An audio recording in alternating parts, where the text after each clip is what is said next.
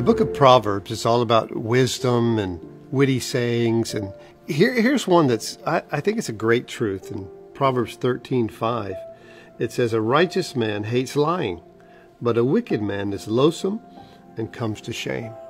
There's a true story told about four high school guys who all drove this in the same car to school every day and they decided one day it was spring they had spring fever hey let's skip school and so they went to the beach they hung out at the mall they hung out together all day and the next day they show up for school together and tell the teacher well we, we had a flat tire and we had to get it fixed and that's why we weren't here and she just kind of smiled and said okay but you guys missed a pop quiz.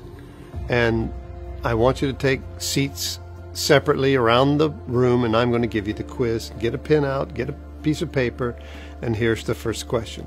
So they're like, "Phew, we, we passed the test. She's not mad. Uh, you know, we got to skip school." And she asks the first question Which tire was flat?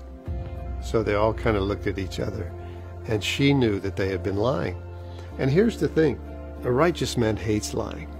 And, and what Proverbs is saying is that if you're going to be righteous, God will put it in your heart to hate those things that He hates. He hates a lying heart. So let me encourage you as you think through your day, you think through what you're up to, what God's leading and directing you to do. Be honest, be straightforward. A righteous man hates lying.